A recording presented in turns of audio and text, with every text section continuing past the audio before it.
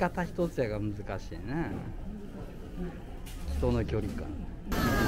気分いいでしょほら。これよ南国行くのにこれじゃないと。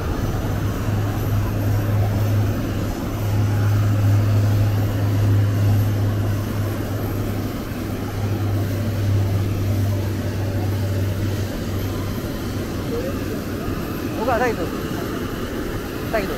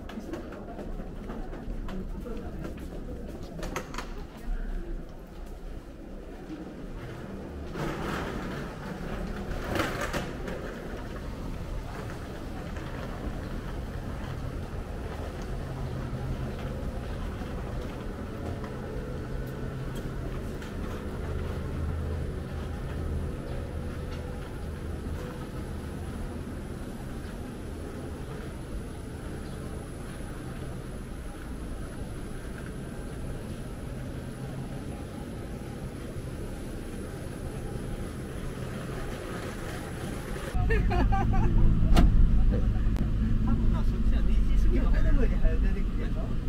や子供らも結構早いんですよあそうなん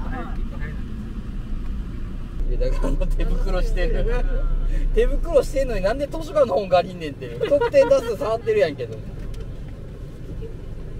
やツッコミどころ満載じゃん。じゃあもう思い切って須崎まであえ行きましょうか。いいじゃないですか。旅は道連れ世は情け。ね。うなぎはダメやったけど今度は鍋焼きラーメンなんて粋じゃないですか。じゃあ飛ばして間に合わせますんで。うん。その人も関わってはんね。ん今あなんかうんうんそのあ今何でしたその同志社大学なんか言ったでしょ乗る乗る不可能は可能にですよすぐできますよもう一回嫌味っぽくうなぎ屋の前通るけどね匂いだけ嗅いでいきます窓開けたらどうですか？匂いしますよめっちゃうまそうなえ？え匂いいい匂いえもう一店舗ぐらいありましたよ。いやけどもういいでしょ。ここここはやはり鍋焼きラーメンでしょ。地元に愛された行きましょうよ。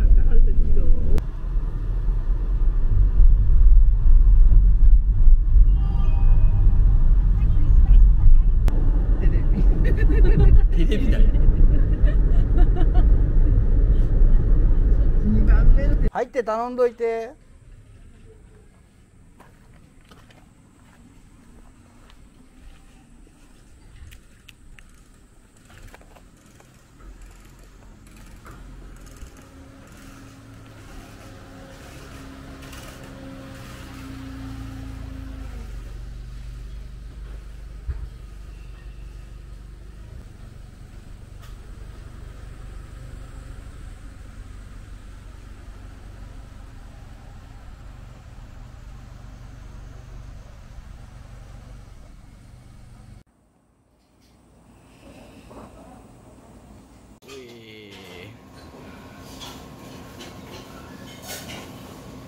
そうなんめっちゃ雰囲気いいよ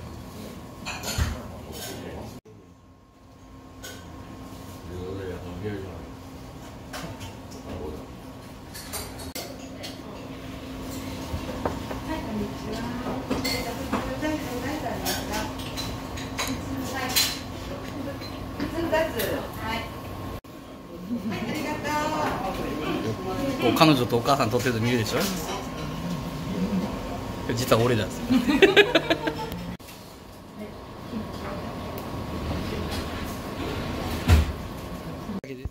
うん、うわうまそう。うまそうやなおい。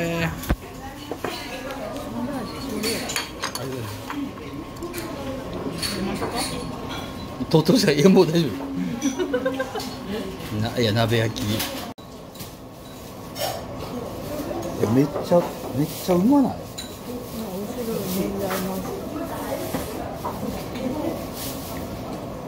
油かってですね。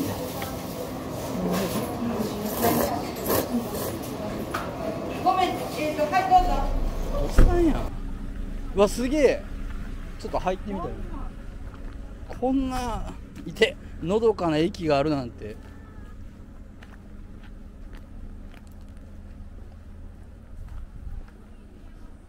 海見える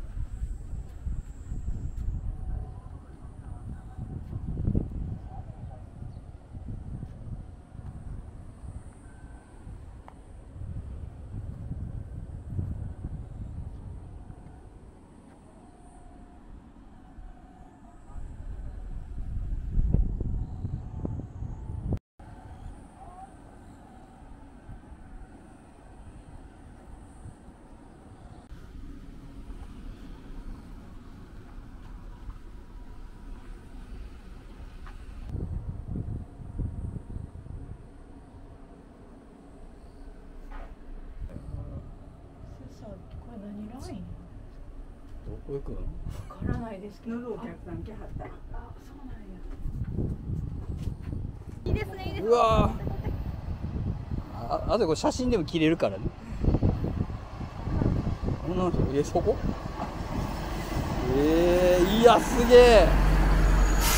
一両。ですえ？気まずいですね。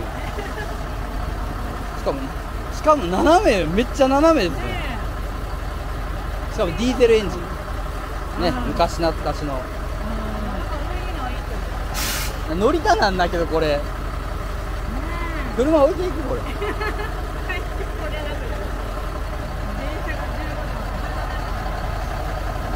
すげえ。なんかあったかいな。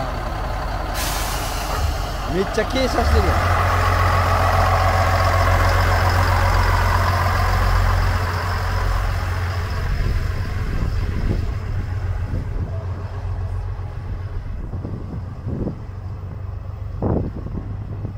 めっちゃええななんか。煙突から、うん、なんかバスが行ったみたいな音ですもんねディーゼル。うん。じゃあ行きましょうか。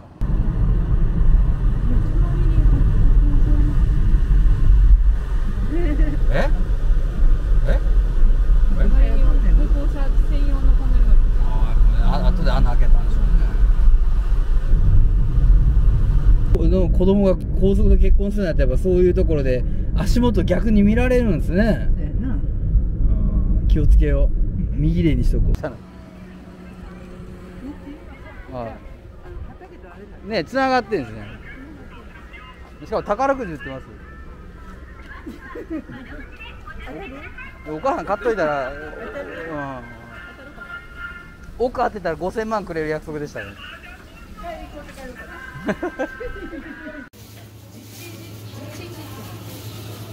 え？どれ？あこれ？す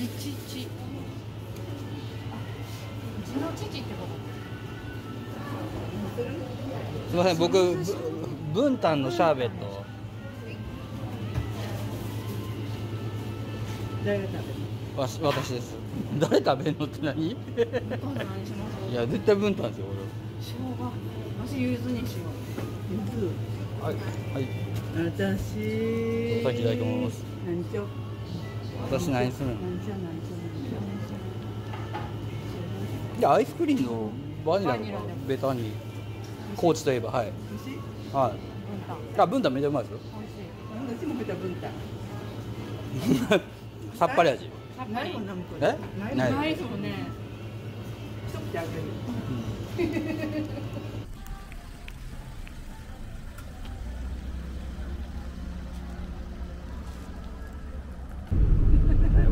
って。優しいやつなんですよ。不器用ですけどね。いやちょっとイラつくタイプ。あすぐ怒るタイプですけどね。行きましょうか。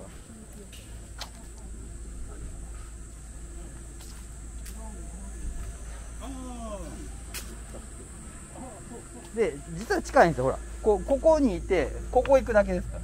今から。そう。でここが桂浜ここまず龍馬像今から。行ってほら龍馬さんですよほら。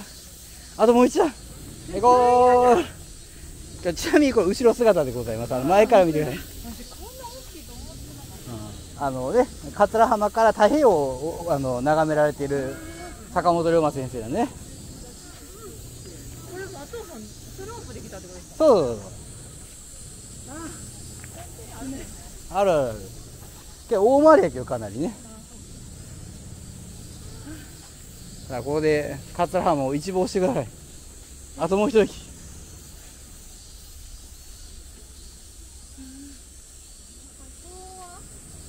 え？昭和3年3月ですね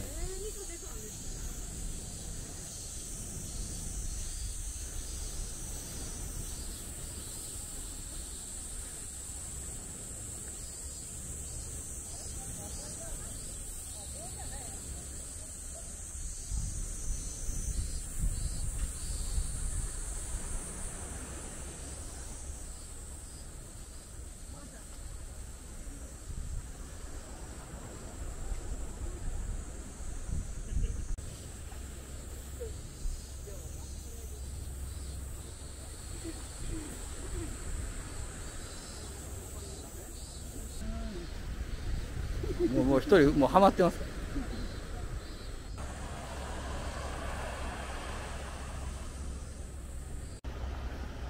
素晴らしい。浜桂浜あみあみねほら写真ほら撮ってありますよこれね。え？あほんまや。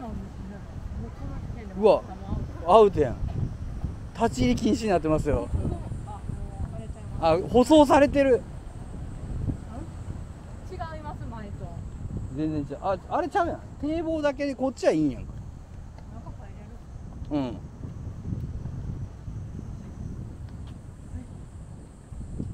あの色がいいの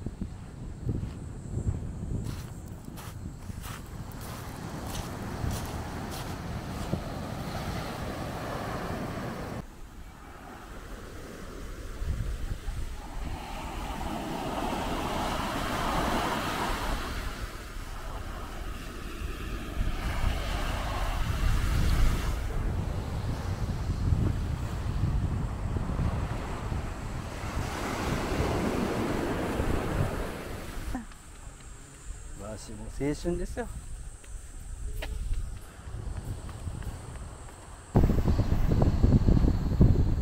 ご褒美ですよ登ったものに対するね。え？結構ありますね。もうちょいや。そうですね。全然ちゃいますねこっちとあっちはい。がねはあねえ向こうあんまりなかったなかったのそう。に打って変わったでしょ？変わりますねやっぱり。こんなとこ置いたらダメですよ皆さん。さらわれますよ。誰や？俺や。若い時の俺や。むっちゃ深くの深そうですよね。深いしね。引きに引き潮がめっちゃ強いんですよ。だから泳ぎ自慢ぐらいだったら大丈夫でしょうけどあの油断して入った人は帰ってこれないですね。連れて帰ってる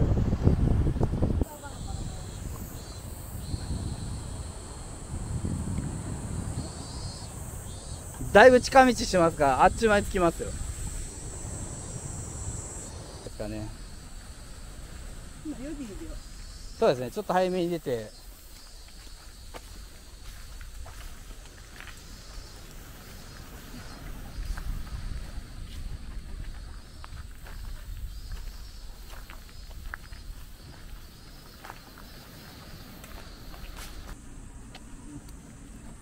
ね皆さん覚えましたか？ね。今一度日本を選択し申し上げ候ですよ。ね志豊かな坂本龍馬先生。うーん我が社のね看板となってる坂本龍馬さんここにいらっしゃるんです。ここにおわすんですよ。お母さんも分かりますか？君聞いてるかね？はい。はい。近いですね。え？三歳違いです乙女さんおわおとめちゃん。お姉さん素晴らしいお姉さんや。何食べようかな？叩きは外されへんな。塩で食べよう塩。ポン酢も食べたい。結構漁港がしっかりしてるんですね。漁港だけじゃなくてほらコンビナート系とか。ねあっち側とかは多分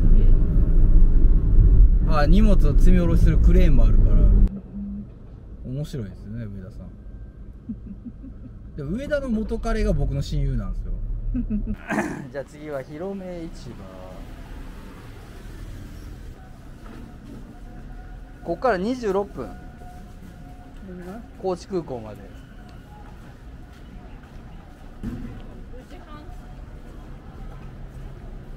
そうですね。これけどここが広め市場です。食べよ。う広め市場です。久しぶりやな広め市場。楽しみやわほらね招き猫もマスクしてますからね皆さん、マスク着用でお願いしますよ。ここで好きな好きだけ好きなだけ食ってもう噛んでる。鯛めしもあるしね。俺鯛めし食いたいね。試しね。あカツオたたきもありますよ。おお母さんが食えるんかな。来ないの？えこっちはたたき丼もあるんですよ。山かけとかちょっとうろうろしましょうか、めっちゃ広いんであちこちありますから。え？ほら多い。ですそうなんですよだみんなビール飲んだり飯食うたり。うわ渋い。カキフライある。食べて。あカキフライもある。そそこね肉もあるしまあまあ何でもあります。あとあっちの奥まで。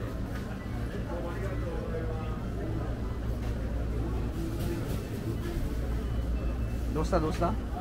トントンとこうやって行ったらいいんやろ？はいそうです。ありますあります。だから結構広いんですよ。マジマジ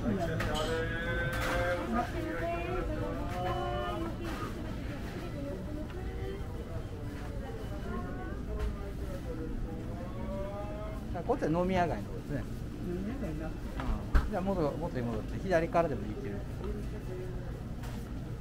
この飲み屋もある。んですよ芋けんぴも有名ですね。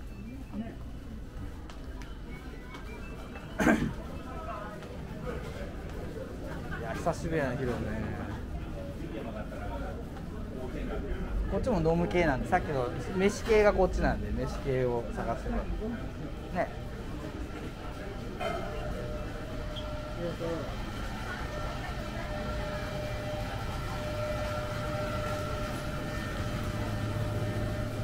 ここ一周ここぐるっと回ればさっきのとこですけど。ハーブあげるよ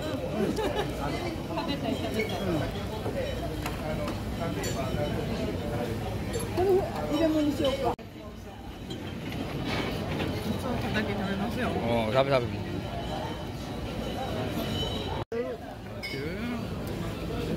アジフライもうまいんですよここの、こっち地元産カキフライもそうですよ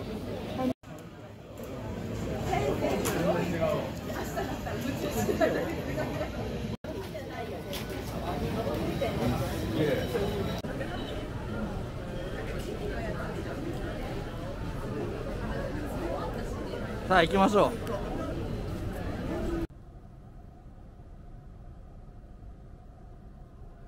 あもう欲張って高知城行きたい。高知高知城？行きたい。まあ室戸湾台風とかで有名ですよね。あー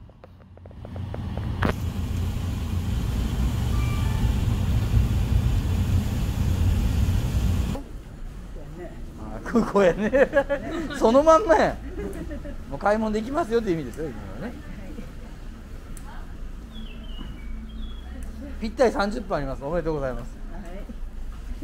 私もうあ閉館8時40分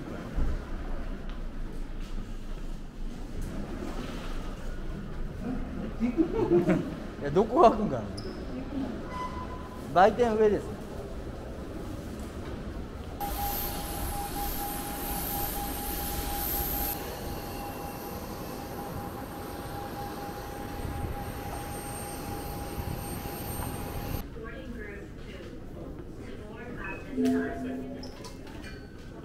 もうこの辺座っておきましょうか。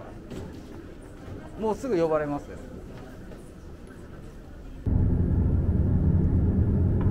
手荷物は重ねないように座席の上の物入れまたは前の座席の下にお入れください。離陸着陸の際は座席のリクライニングとテーブルを元の位置にお戻しください。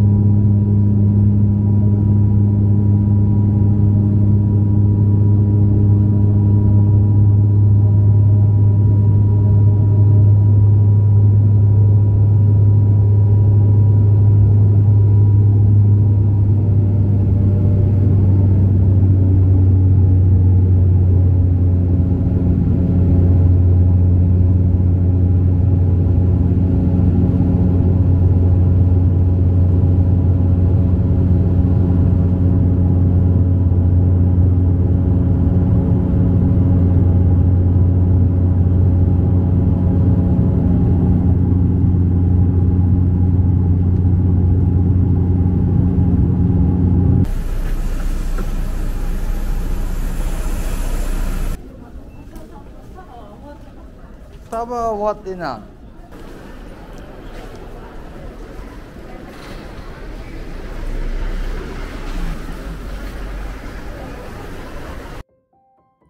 はい、皆さんいかがだったでしょうか？まあね、ドタバタの、えー日帰り旅行ということで、まあ朝から出て、まあ最終で帰ってくると。まあそういった流れになってるんですけども、まあね、大阪から高知まで飛行機で行くんであれば、まあ十分楽しめるのかなっていうところと、まあ行こうと決めた時にね、すぐ行かないと、まあ例えば、おばちゃんの場合で体調をね、崩されてしまったりとかもあるので、まあ多少の強行軍でも、まあ気持ちが持つ時に行くと。ね、例えば来年だ、行きましょう、再来年行きましょうという約束した時に、そのおばちゃんがいないかもしれないですもんね。病気されるとか。ですので、まあ我々ぐらいの、まあ、40代、50代になってきますとですね、まあ花壇速攻、疾風で行くっていうね、まあそういうことで思い出をなるべく早くに作っておくってことを私などは心がけております。皆さんどうですか？あの、まあ思い出をこう作るとですね、次はどこ行こうかしらとか、あんなとこ行ってねとか、あの、ザ・マスカ無茶してこんなんとかあんなんとかで、まあいろいろ悪口も含めてですね、まあ十分なネタになります。で、思い出は作れば作るほど人生持ち歩けるんですよね。ね。